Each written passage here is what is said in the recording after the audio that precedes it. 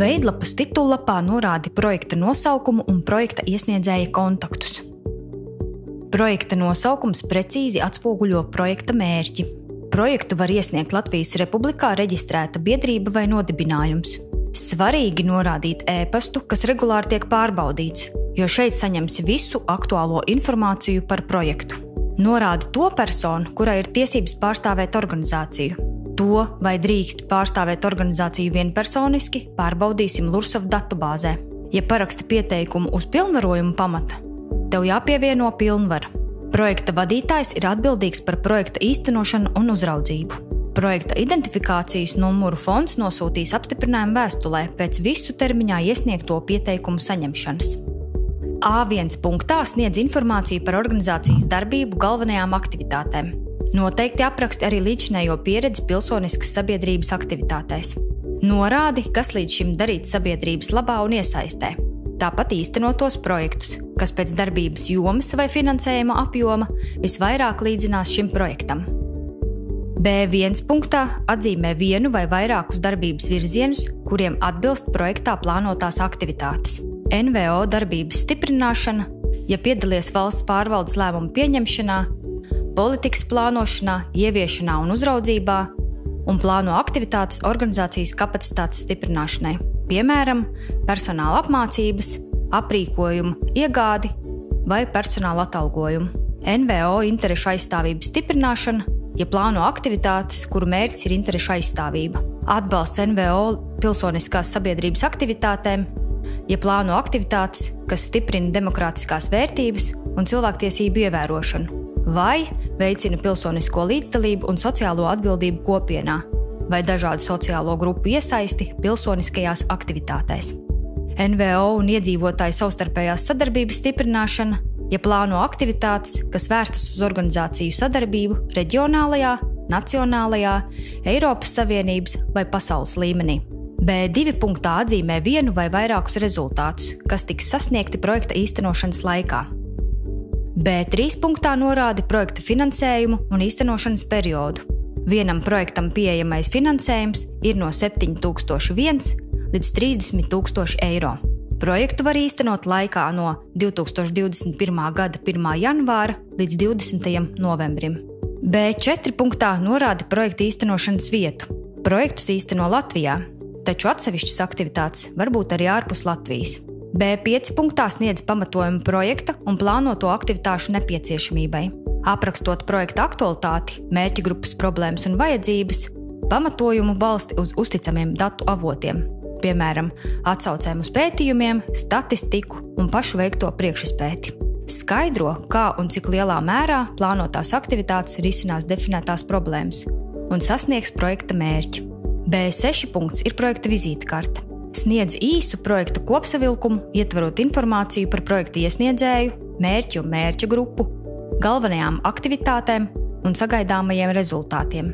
Ja projekts tiks apstiprināts, kopsavilkums tiks publicēts fonda tīmekļa vietnē. Makroprojektu iesniedzēji var saņemt papildu punktus kvalitātes vērtēšanas kritērijos, ja ietvertas aktivitātes interešu pārstāvībā, tās var būt tikšanos, sarunu, diskusiju un publisku apspriežu organizēšana, dalība dažādos pasākumos, lai veidotu politisko dienas kārtību, pārstāvētu viedokļus politikas veidošanā un lēmumu pieņemšanā. Punktu var iegūt arī, ja plāno atzinumu, iesniegumu, viedokļu vēstuļu gatavošanu, kā arī plāno organizēt piketu vai mītiņu. Punktu var iegūt, ja projektā plānota NVO un iedzīvotāju savstarpējās sadarbības veicināšana, aktivitātes, kas vērstas uz sadarbības veidošanu ilgtermiņā, vai tīklošanās pasākumi, kas risina sabiedrībai nozīmīgus jautājumus. Veidlapas B8 punktā secīgi jānorāda projektā plānotās aktivitātes. Katras aktivitātes aprakstā norāda aktivitātes tematiku, ieviešanas metodes, dalībniekus un atbildīgās personas. Katrai aktivitātei norāda arī aktivitātes īstenošanas laika periodu un budžeta pozīciju, kurā ietvertas aktivitātes īstenošanai nepieciešamās izmaksas.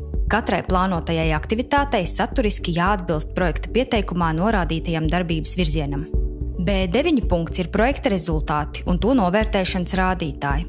Norādītajiem rezultātiem jābūt precīzi definētiem un atbilstošiem aktivitāšu saturam.